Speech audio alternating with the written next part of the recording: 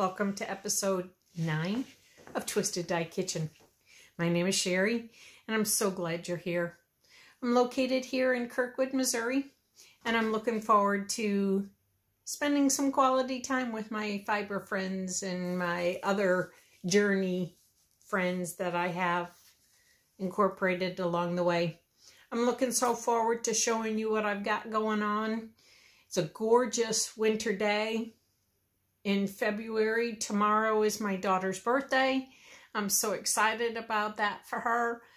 She's requested my spaghetti dinner and a dessert, which she gave me three options. So I'm not going to tell you because she might be watching and I'm going to surprise her with it. Get your coffee, tea, whatever your drink is. Come sit with me. Let's enjoy a few minutes of some good fibery talk. Talk to you soon. Bye-bye.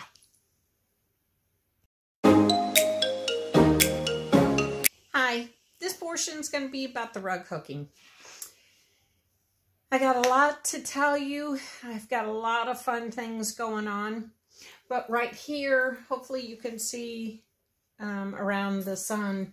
But these are my little packages, my little rug hooking kits that I've got ready to go for people who want to sign up for my Acadia National Park rug hooking series. Inside your kits will have the mat. It'll have um, a colored picture as a reference. It'll have different embellishments, whether it be dyed um, velvets, dyed roving, dyed locks, and some yarns, and some sari silks. Hope you can see that. Oh, that's much better. I'm going to turn you a little bit so that we're not in the sun. Um, but this is going to be my kit that I'm going to have three in the series. Um, we're going to have um, a Zoom meeting to discuss the projects, to discuss the complexity of these projects. These are 16 by 20 projects on a linen mat. And part of it is going to be looking at it, diving into your stash, whether it's eight size eight cuts all the way down to a size three. I want you to explore the different ways to look at an environmental type shot. This is a landscape. Um, one is a covered bridge, and that's going to be um, this little package. Again, it's going to have your dyed velvets. It's going to have some different texture. Sorry about that. And it's also going to have some sari silk. Obviously, it's going to have your pattern inside here and different type of textured yarns. These little kits will be given as a set. This one's the last one. This one's going to be really involved and really um, challenging for very um, experienced rug hooking um, groups of people. I've got some wool jersey that I'm going to be incorporating some different type of yarns. I also have a very textured um, wool piece that I think will be great for the rocks. Um, this is going to be for the different sun um, locations and some dyed locks that I had. Again, with your colored mat, this is a 16 by 20. These are very involved kits involve 16 by 20 mat for people who are very experienced with exploring different creative options and like the challenge for the rug hooking. Um, I'm going to have signups the last day of February. And if I don't have more than five people, then I'll just go ahead and sell the kits as they are and not have the Zoom class. Um, but I hope you want to enjoy taking a class. Um, it's going to be once a month, so it's going to start in March, April, and May. Um, give you time to explore the mats, give you time to dive into your stash, use your stash, try to be creative with your stash and pull out those pieces that you've had that you don't know what to do with. They might blend in really well with these landscape mats. So I look forward to hearing from you. Um, I'm going to have this again on Instagram. You can reach me there. It's Twisted Dye Kitchen. And let me know if you're interested in participating in this class. Um, you can also um, leave a comment below. I'll go ahead and give you the pricing for these um, mats, um, the series of three. It's called Acadia National Park Rug Hooking Series. Looking forward to it. Until next time is spinning. Hi, now we're into the spinning portion. What I have here is two skeins that I have completed um, of my, I'm trying to get this so that the sun doesn't get to it. Um, there we go. These are singles. They are silk, merino, yak, and angora. I believe that's what these are. These are from Zia Wools. And I have these two completed. I have a third one on the bobbin, um, which I should have probably four bobbins total. So I'm not really sure what I'm going to have um, and make from these. Um, I was actually thinking about making some mitts, um, maybe fingerless mitts that go up a little bit far up on my um, wrists. And maybe if I have enough, um, a hat to match. So that'd be kind of cool. Um, I also have the my bobbins that, uh, excuse me, my spindles, support spindles that I've been working. I haven't really been doing too much with this guy. Um, the sun is just, there we go. Um, but I have worked on the different spindles from Alan Berry. And I have completed more of the spinning on my dragon egg.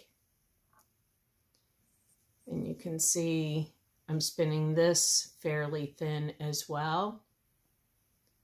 You can see that. Oh. Okay. So I've got three more spindles. Um, working on them, just keeping each one to spend a little bit more and take some time with them.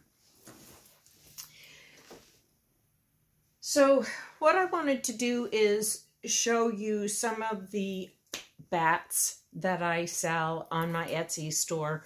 Right now I don't have any listed. I'm on vacation in my Etsy store but I wanted to show you so that you could see firsthand how some of these batts look.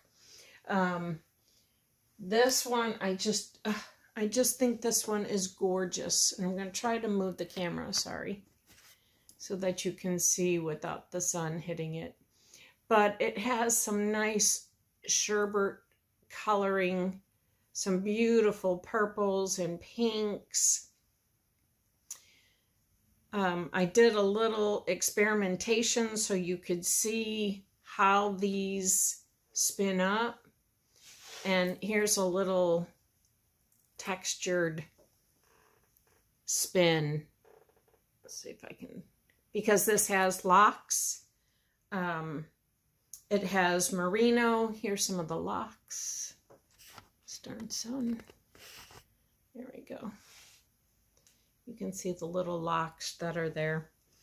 This is a gorgeous four and about four ounce batt that I have that I will have ready and listed.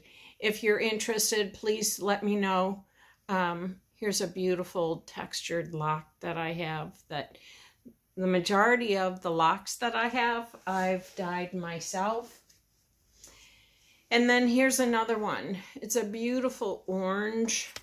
Again, it's more of a, a deep orange, like a pumpkin spice orange.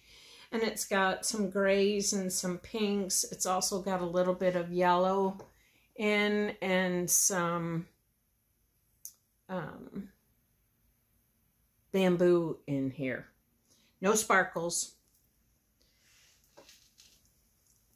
Then in the bags back here, I have another orange sherbet with some yellow and I also have some little bits in here for some added texture. Here's a cute little spin which was done on my support spindle. Isn't that pretty? Um, no, I just don't do orange. Here's a hot pink. I love this. This would have been great for Valentine's Day. This one has a lot of um, sari silk in it. It has some merino and some bamboo. It has some locks in there. Obviously, this is just, ugh, this is stunning. It is truly a hot pink. And then here's a representation of how it could spin up if you're interested in spinning um, possibly um, a light fingering weight or um, a DK. So I have that ready in my little twisted dye bag. And this one is Merino Blends and Silk Threads. This is four ounces, the hot pink. And then I have one more to show for today. And here is my beautiful blue, royal blue. I'm going to move this one more time. It's a beautiful royal blue. It's got some turquoise and some deep burgundies. Um, this one definitely has sparkle in it. This one is Stellina Silk Merino Blends. It's about 3.2 ounce um, art batt. And I think, I thought I had a little, I guess I don't have a little sample of how this one spins up. But look at all that sparkle. Isn't that great? And it's a blue Stellina. So this one's a really pretty, pretty spin. So that's it for my um, art batts.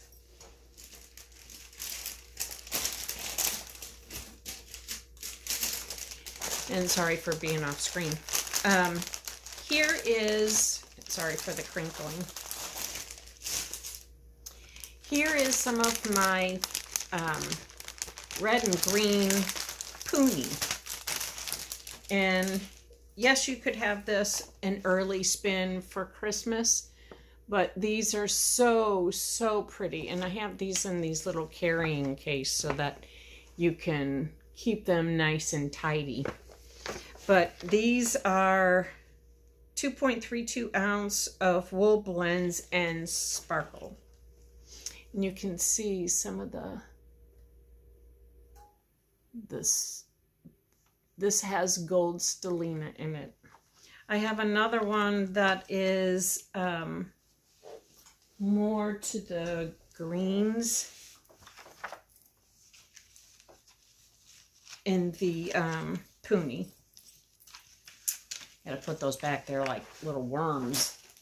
And then I have a blue, yeah, here's the, the other Stellina. Here's the other Christmassy more of the greens. It's 1.82 ounces of the wool blends.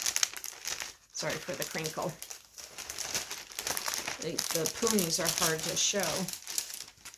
But there's a good show representation of the red and greens. I have these in these travel kits primarily so that when I pack and ship, they stay nice and tidy. Here's another, this I think is just so pretty and so, so beautiful in textures. This again is the blue and red, which could go with the, um, the batt that I have. But this is a little bit deeper blue and it has some of the burgundy in it and then it has some bamboo in it. So this would be a really pretty fun spin. And this one is 2.26 ounce of Shetland and bamboo and merino. So that's kind of fun for the punis. And I have one more which is Shetland and Polwarth. And this is my, um, it's kind of like a mint green with some pink and some soft um, blends of sari silks in it. Hopefully you can see. This sun is just brutal today. But I can't complain because it's melting the snow and I'll be able to um, walk without falling um, with my dog. The green puni is 1.95 and this is Shetland and Polwarth as I mentioned. Here is that um, blue batt. It had the, that's the, um, you see that? That's how it spins up. I think it's so pretty. So, so pretty. So that's it for my spinning portion. I hope you enjoyed it. If you're interested in any of the batts um, or the punis, just let me know. Um, leave a comment below. I'm going to have them listed probably in a couple of weeks. I'm changing my color themes for the background on the Etsy store. I didn't really like it and I wanted to use the sun, excuse me, to make sure that I have natural light and you can see the coloring as best as possible. So what's coming up next is knitting. Stick with me. A few seconds before that sun comes back out, sorry, got fuzz in my, um, so I'm going to start with the blue cardigan, which is my Sunday knit cardigan by Petite Knits. And this, I haven't really gotten that far on this. I really went gangbusters on it, and then I just kind of... Um, but I did separate for the sleeves, and I have a little bit uh, past the sleeve, if you can see that got maybe an inch under the arm. Um, but I'm really looking forward to getting down to the um, card, the body portion of it. But this is how it's going to sit up. And that's a good idea of how it's going to look when it's on the shoulder. Isn't that cool? Um, so this is as I mentioned before, the collar rolls down so that it has a nice little stand-up collar. Hopefully you can see that. So, of course, the sun goes away when I want to show the blue, but I think that's kind of pretty. So I'll start working, rotating this in with the rest of my knits. I really like the texture and I like that design of this. Um, Again, the yarn that I am using is by, excuse me, is by Knit Picks. It's called Brava. Um, it's a bulky weight. Uh, the yardage is 136 yards, 100 grams of this. So it's very, very soft. Um, I wanted something that would take me into the spring um, and then from spring then into the late fall. Um, I've gotten pretty far on my next sweater. And this is Caitlin Hunter's pattern. Um, so here is the neckline. Here's the yoke separated for the arms. I have probably about an inch underneath the arm that I've started. I'm going to stand up so you can see a little bit better of this. So I'm to the next design portion. So here's the sleeve and here's the section for the body. As I mentioned before, um, I am going to work on the design pattern that she chose for the body.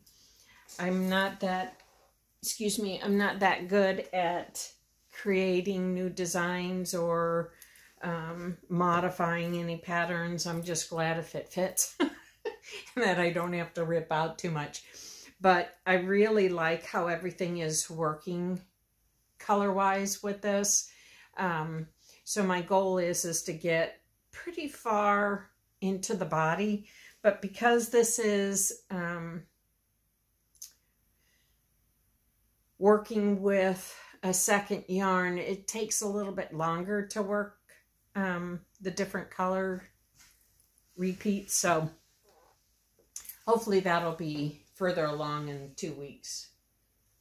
Um, so I have another kind of fun project, but uh, just, I wanted to have this for Super Bowl weekend, but I got the yarn, but unfortunately I wasn't able to get the correct gauge, so I had to get a different um, needle tip.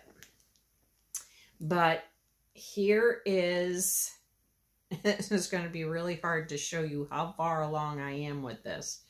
But the um, yarn is, I'm going to move the camera, sorry. I'm going to see if I can, there's a pretty, there we go. That's a great idea of how the coloring is on this yarn. This is from Skanamine. Um, found her on Instagram. She also has a podcast. Love, love, love this yarn. Now the pattern is, this one is called Arbor Fatale, Fatale by Hoagie with the little tassels. And then all up here is cables. So the cable patterning creates this chevron V portion in the front and the back. So I really, I love, as you know, I love cables. And this one, the construction's very different for me. The construction of this is the left and the right shoulder first, and then you work the yoke on the back, and then you come back and then you do the um, yoke for the front. So obviously I don't have very much, but it's got some cute little cables, if you can see them. You see the cute little cables? There they are. There's one. There's two. So it's just at the beginning stages, obviously. And this is a lot of fun, but it's very small and you have to really pay attention to what you're doing. So let's see if you can see. Isn't it cute? I love the coloring. So that is um, another one that's been taking up some of my time. But it's so much fun with that color. It's just such a beautiful colorway. Here's a Look at that. Isn't that just so fun? I just love it. Hopefully I'll have some left over so that I can, um, sorry, sorry for the crinkles. Um, maybe I might have some extra for my granddaughter. And this is the fuchsia that I'm going to use for the tassel. Oh, that's going to be so cool. It's going to be so cool. The colorway on this is unicorn. Sorry. Unicorn, let's see. Falling off my unicorn. I just love, love, love these colors. Let's see if I can put this. There we go.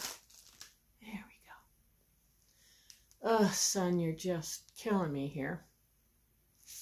But look at that. Isn't that, look at that. Isn't that just beautiful? I love it. So springy. And then I'm picked up, want to get off, oops, sorry. I want to get off of the needles a pattern and a project that I've had on here for a very, very long time. This is for my daughter. And it is called the Motley, M-O-T-L-E-Y, by Jane Richmond. It's a real pretty scarf pattern. If you can see that. There's a little lace portion down here. Um, and I picked two yarns. They're finger weight yarns.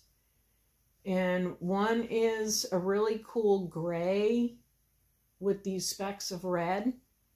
And then the red has some deep browns almost to the blacks. So I'm going to try to finish this hopefully by the end of this month. but here's the project right now. It's just kind of, it's not keeping me all that um, interested, I should say. But I love how it's coming, turning out. And then here's the, the, um, the bottom portion with the lace. And it has a real pretty little edging to it. So I'm going to have, so the opposite side of this will be this deep red. And that's going to be the bottom portion of the other side of this um, scarf. But I think that's real pretty. Hopefully you can see that. So that's it of the knitting portion. Um, I don't have any dream knits yet. I am thinking of some additional um, projects. My um, orange throw is about this deep. Not too much going on there. I told my husband, I said, I think we got a lot more to go on this to keep warm for the next winter. So that's all I have there. So I completed the rug hooking kit. I showed you what's new in the spinning section. Um, all what I'm going to be updating in the Etsy store. I'll go ahead and notify on Instagram when the Etsy store will be uploaded. Um, the second portion or the final portion of what I wanted to talk about was my journaling. And I wanted to show this is my traveler's notebook. And this is what I use all the time. Um, it has my um, it has my calendar in here of what I have for every day, what I plan on doing, how I'm going to be working.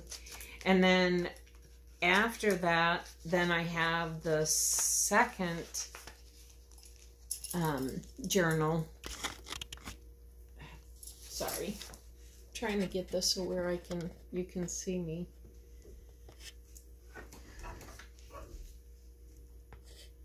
You know, the sun just wants to come out and play games.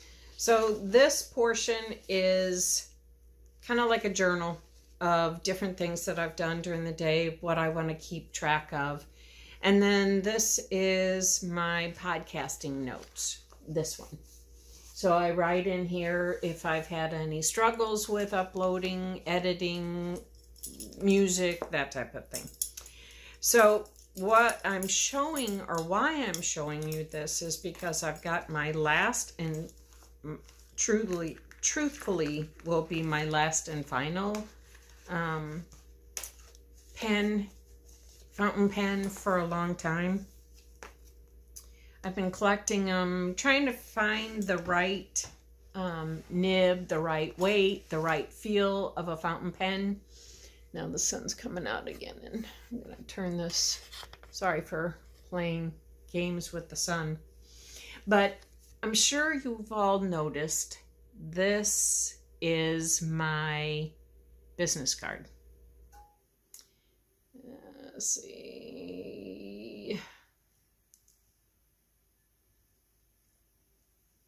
Okay, so let's try this again. So this is the last portion that I'm going to be talking about. This is my business card. It's got the orange, the turquoise, and yellow. And I mentioned to you that I've been working with some fountain pens and trying to find the fountain pen that I really enjoy. Um, each one you're not going to know how it works or how the nib feels or how the pen exactly feels. But I saw this at an antique mall and I just had to get it. I mean, it's like it was meant to be. Look at that. Isn't that just so cool? It's a mother of pearl this portion is the mother of pearl. And then these color swirls are also mother pearl, but in the coloring. And it is a very heavy weight pen. The end screws on for posting, what they call posting. And this is a um, Lebel pen. It's a medium nib. And I hope you can see the fine detail around here. Can you see that? It's just gorgeous. I love the coloring of this. I love the weight of it the nib works so well on the paper and I love the sound that it makes. So I'm going to cut up one of my old um, quilts. Um, it wasn't a complete quilt. It was damaged. So, but I just had to have it. And of course it was orange. So I had to um, take it home and I'm going to go ahead and make a, a pen case for it. And I'm going to slip that pen case in here so that I can go ahead and keep this pen safe. And the reason why I'm doing that is because it's a heavy weight pen. I do have a pen holder here, but the problem is, is this is heavier, or excuse me, thicker, wider than this will hold. And if I keep this out here, let's just say this was a little bit, um, the proportion fit the pen well, I'd be afraid that it would get scratched too much. So I'm going to go ahead and make a little needle um, pen case here so that I can slip that in, give myself a new um, cord here to secure that even more. And then I can take this off and put two of my pens in there. I try to have two fountain pens um, at all times with me. But that's my little segment. Um, I hope you enjoyed it. I try to keep these on the shorter side because we're all so busy and it's just nice to take a little break from the outside world and have a little fun and see what somebody else is up to. Sorry about the lighting conditions, but I'm not sorry that the sun's out. So I hope you can bear with me on that. Um, if there's anything that you're interested in, please reach out to me on Instagram, send me a message, or leave a comment below. I'd be more than happy to help answer any questions that you might have. Um, if you are interested in the rug hooking kits, the Acadia National Park, um, just leave a comment or reach out for me on Instagram. Um, I will have my um, art batts and my punis listed on Etsy, hopefully within a couple of weeks. Um, I'm changing out the way that the um, background is and just the format of how the pictures are and how they're going to be located, how they're going to be positioned on Etsy. So again, I hope you have a wonderful day. Thank you so much for coming and visiting with me. Please hit the subscribe button. Let other people know that if they want to just have a little fun and take a little breather from the outside world, please share this with someone. And as always, enjoy.